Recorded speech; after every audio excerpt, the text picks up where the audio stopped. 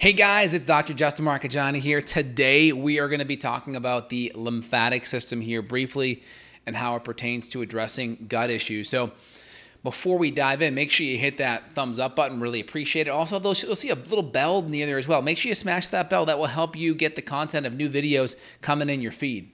Also, let me know about your struggles with detoxification and your lymphatic system. Really appreciate it.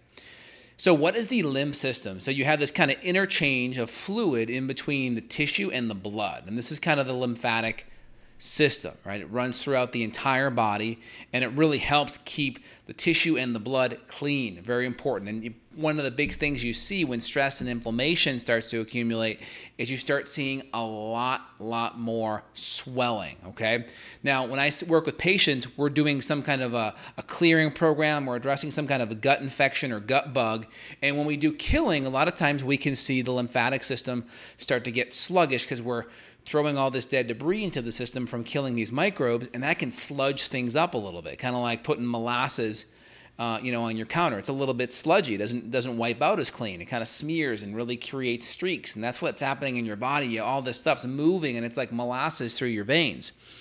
So what do we do about it? So first thing is just by hydrating enough, that's going to add more fluid and hopefully make the lymph, you know, more uh, you know, more fluid and help it move. That's one. So just drinking enough water, right? The solution to pollution is dilution, right? Say that five times fast.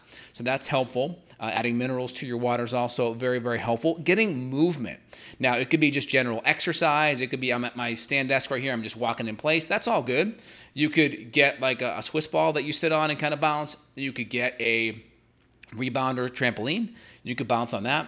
I got a whole body vibration plate in my in my biohacking lab over there, and that's really good. That's like the best because that's at a really high intensity. In three to five minutes, you're like set. You can get a lymphatic brush and kind of brush the skin up gently. Just make sure it goes back in the direction of your heart, so that fluid gets to where it needs to go and can go back into general circulation in the body. So, really, the lymphatics are that interplay between the blood and the tissue, and your and your body's trying to pull out toxins and move it along and recycle that toxin or recycle that fluid and or any toxins or inflammatory byproducts. Inflammation causes cells to aggregate and stick together.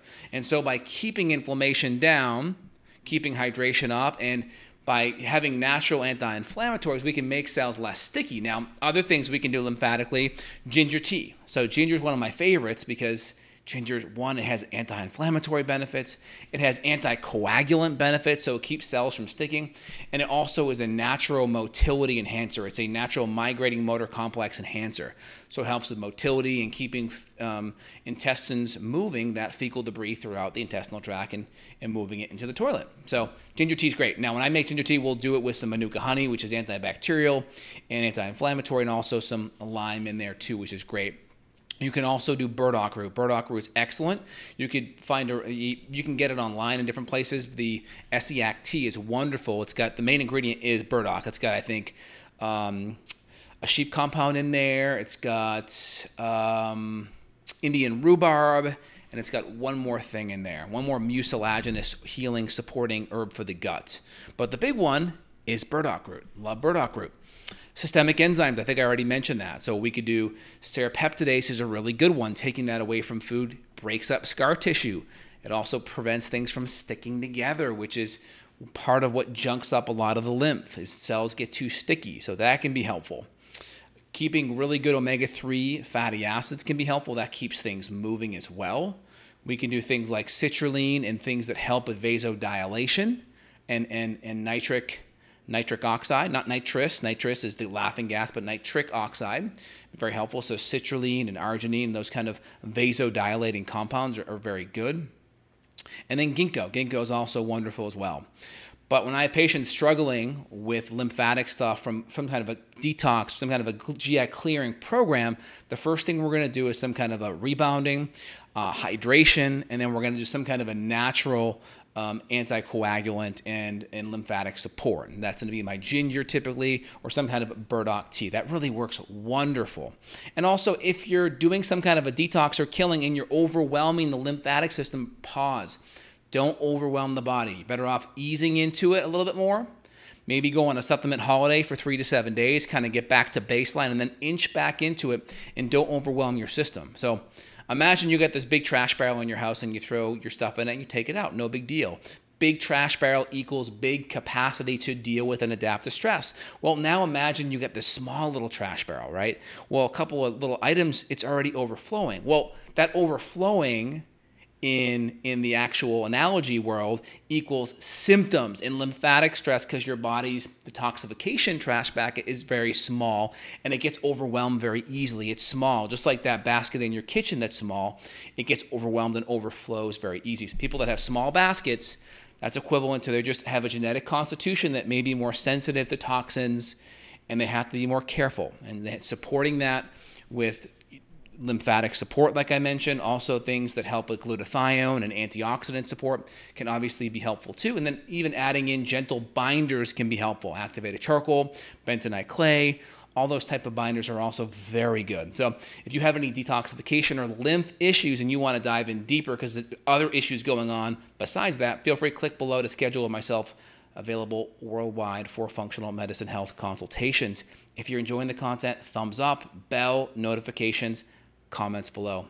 All right, let me dive into some of your questions. What is cooking?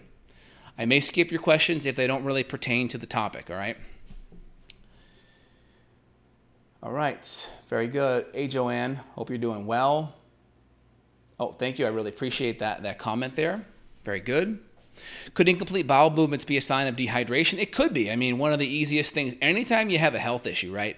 You can go back to the book, Your Body's Many Cries uh, for Water by Dr. Batmanghelidj like water is connected to so many conditions. So like when I'm working with a patient, the first thing we do is we get nutrition right, blood sugar right, digestion right, and hydration right. And hydration isn't just drinking good, clean, like filtered water. We're also adding minerals into it as well. But that can make so many things improve. So keep that in the back of your head in regards to um, your BMs and always go to your hydration first. If you're having GI issues alongside uh, digestive issues after eating, would you suggest any? Would you suggest anything on an empty stomach?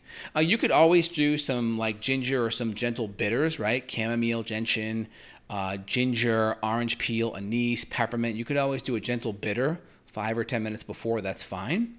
And then you could always try some enzymes at the top of the meal. Definitely keep your HCl in the middle of the meal. But the bitters and ginger can be very helpful.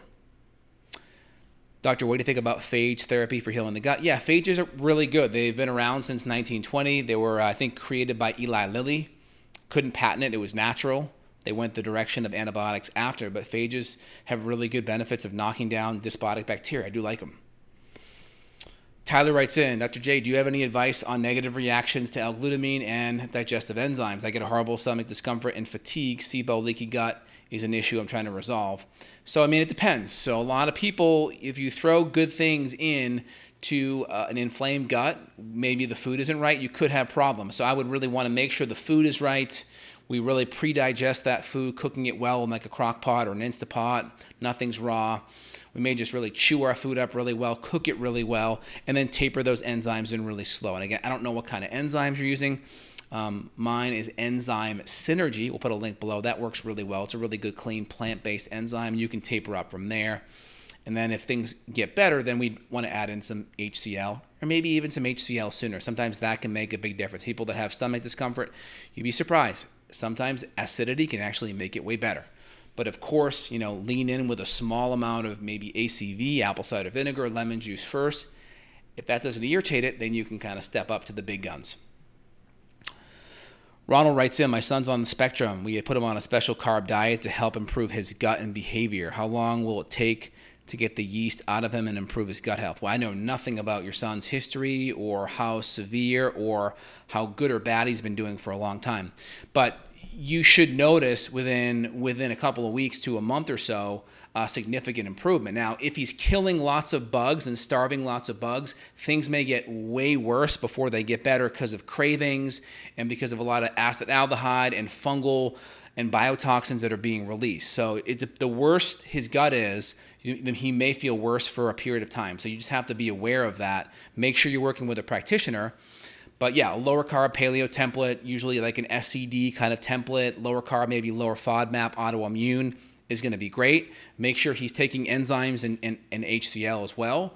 And then make sure you, mo- you know, if he's your son, make sure you control what's in the house. You know, unless your kid's like 16 and has money and has a car and they can go buy their own crap, you got full control over all their stuff for the most part, especially with lots of uh, homeschooling happening now because of schools being shut down. So control your kids' food and, and just have good expectations and make sure you're working with a good functional medicine practitioner.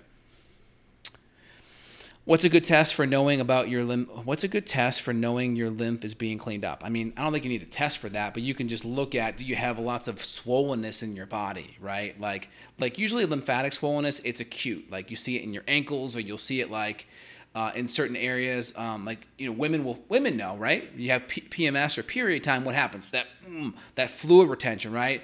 So that's lymphatic stuff. So if you have any acute areas of that, that's a good sign. But do all the things that I mentioned, and that will be a good indication. You know, you kind of have your starting, you know, symptom presentation, and hopefully you can get to a place where you know 80 to 90 percent or 100 is even better, even improved from there. Any suggestions for the best digestive enzyme that eases the hemorrhoids? Well, I mean, hemorrhoids off the bat are going to be caused by lots of intra-abdominal pressure, lots of gut inflammation. Usually, food's a component, poor digestion's a component, gut infections are a component, poor motility is a component, and then the bearing down because of all the gut inflammation too. So you got to address all of those things. So six R's: remove the bad foods, replace the enzymes and acids, repair the gut linings, remove the infections, repopulate, reinoculate good bacteria, retest.